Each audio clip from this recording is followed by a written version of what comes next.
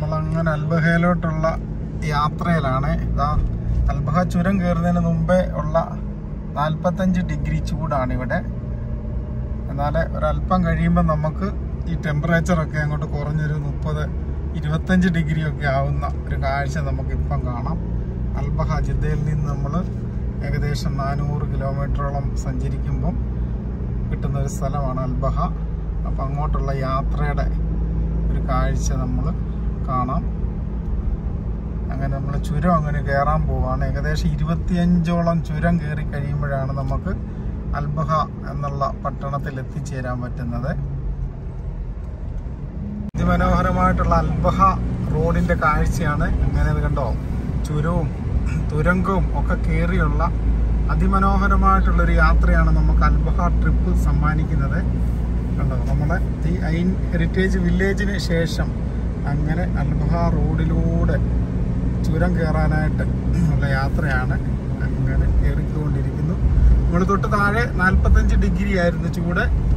ഇപ്പം തന്നെ അത് മുപ്പത്തൊമ്പതായി. അങ്ങനെ മേളിൽ എത്തുമ്പോഴത്തേന് നല്ലൊരു കാലാവസ്ഥ. ഒരു പക്ഷെങ്കിൽ നല്ലൊരു പതിനെട്ടോ പതിനേഴോ ഡിഗ്രി തണുപ്പ് നമുക്ക് കിട്ടും. ഇതേപോലെയുള്ള ഇരുപത്തിയഞ്ച് ചുരം കയറിയാണ് നമ്മൾ അൽബഹ എന്നുള്ള പട്ടണത്തിൽ എത്തുന്നത് ജിദ്ദയിൽ നിന്ന് വരുന്നവർ അല്ലിത്ത് വഴി വന്നു കഴിഞ്ഞാൽ ഈ ഒരു ചുരമൊക്കെ അങ്ങനെ ആസ്വദിച്ച് കണ്ടോ?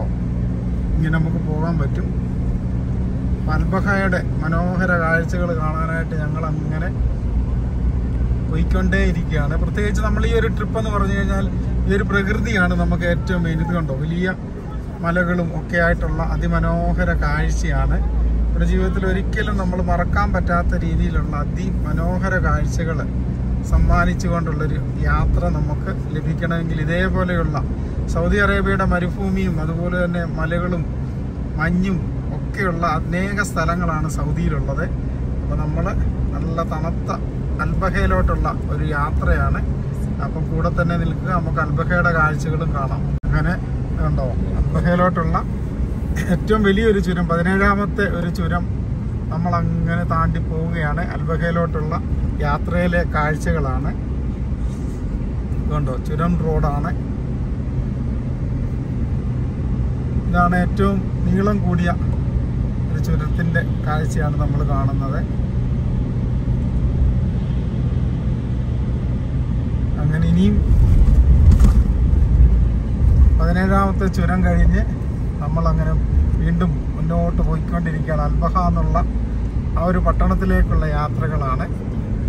അങ്ങനെ പ്രകൃതിയൊക്കെ ഇങ്ങനെ ആസ്വദിച്ച് നമ്മൾ മുന്നോട്ട് അങ്ങനെ പോകുന്നു. അൽബഹയിൽ ചെന്നിട്ട് നമുക്ക് വീണ്ടും കാഴ്ചകൾ കാണാനുണ്ടോ ഒരു സൈഡ് എന്ന് പറഞ്ഞു കഴിഞ്ഞാൽ അങ്ങനെ വലിയ താഴ്ചയിൽ നമുക്ക് ഇങ്ങനെ കാണാം. നമ്മൾ കയറി വന്ന റോഡാണ് നമ്മൾ ആ കാണുന്നത്.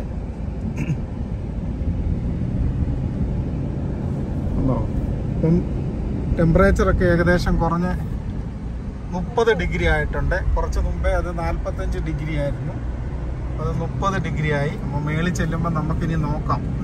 എത്ര ആയിരിക്കും. നല്ല അടിപൊളി കൂളായിട്ടുള്ളൊരു കാലാവസ്ഥ നമുക്കിവിടെ ലഭിക്കും. നാൽപ്പത്തഞ്ച് ഡിഗ്രിയിൽ നിന്നാണ് നമ്മളിപ്പം ഈ ചുരം കയറി വരുന്നത്.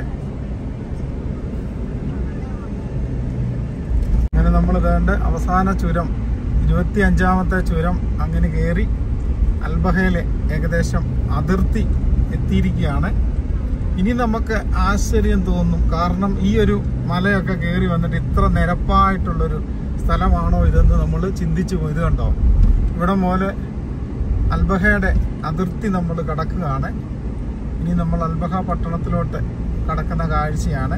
ഇവിടെ ചെന്ന് കഴിഞ്ഞാൽ ഒരിക്കലും നമ്മൾ പറയത്തില്ല ഇത്രയും ചുരമൊക്കെ കയറി വന്നൊരു സ്ഥലമാണെന്ന്.